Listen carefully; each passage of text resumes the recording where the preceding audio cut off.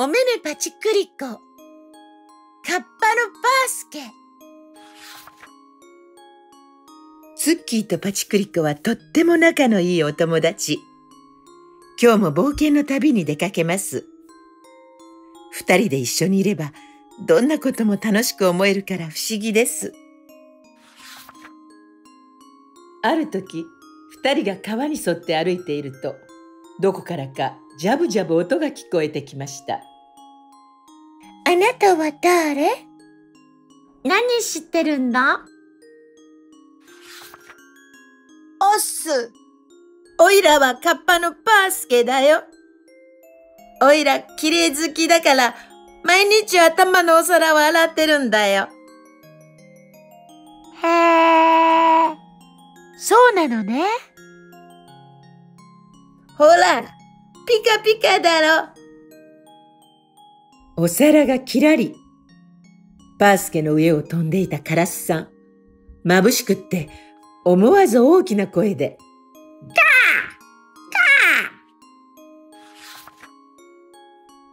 ガーバスケはびっくりして、手からお皿がつるん。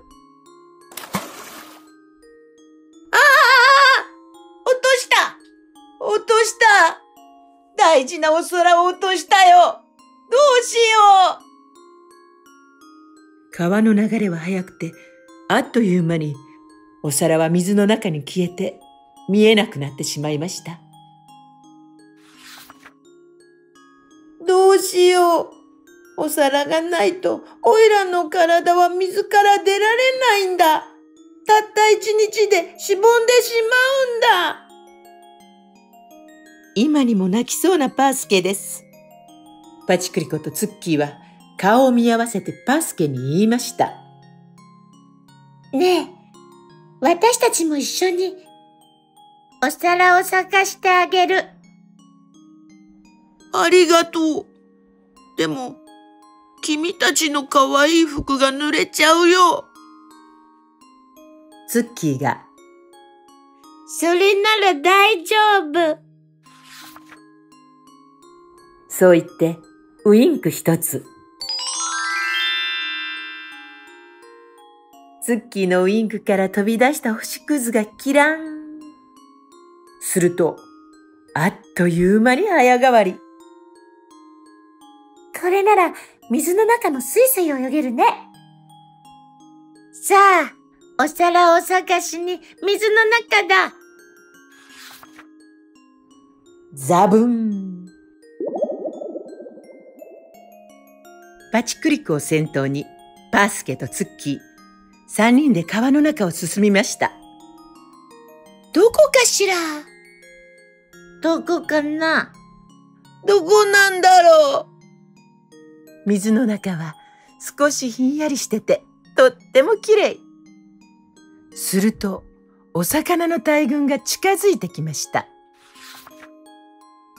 ねえ、パースケ君の頭のお皿を探してるんだけど知らない？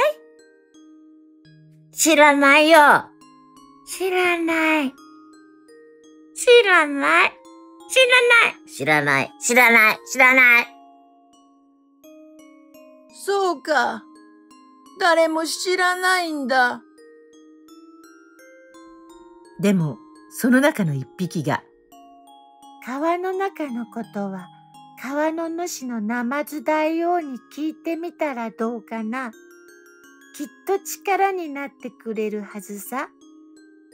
ここからもう少し先の大きな岩の裏にいるよ。三人はお魚さんたちにお礼を言って、ナマズ大王のところに行きました。こんにちは、ナマズ大王さん。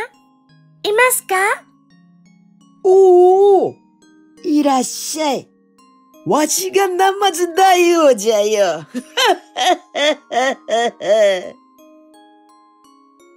ふむふむ、それは大変じゃ。困った時はお互い様じゃよ。みんなで協力すればすぐに見つかるから大丈夫じゃ。よし、行くぞ大王は大きなひげをピーンと伸ばして川の仲間にテレパシー。みんな、カッパのパースケの頭のお皿を探しておくれ。えそれで伝わるの？すごいわ。ほんと魔法みたいね。そんな大したことじゃないんじゃよ。わしは川の仲間を信頼しているし、仲間もわしを信頼してくれてるんじゃ。だから心が通じ合ってるんじゃ。するとまた、大王のひげがピーンと伸びた。仲間からのテレパシーです。そうか、そうか。ありがとう。ありがとう。君たち、よかったな。お皿が見つかったよ。なんと、お皿はゆらゆら揺れる水草の中に絡まって見えなくなっていたんだそうです。お魚さん、ザリガニさん、みんなが水草をチョキチョキ。やっとお皿が取れました。バースケの頭に戻ってきたお皿。みんな、本当にありがとうみんなで力を合わせれば何でもできるんじゃよ。気をつけてお帰り。大王、ありがとうございました。ありがとう。ありがとう。ナマズ大王と仲間たちにお礼を言って、三人は出発しました。川辺について、バスケが言いました。ツッキー、パチクリコ、手伝ってくれて本当にありがとう。もし君たちがいなかったら大変なことになってたよ。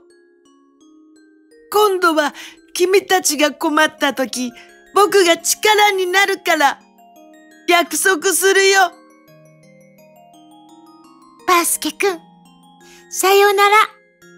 さよなら。困ったらお互い様。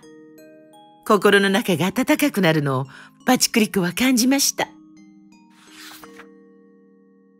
おしまい。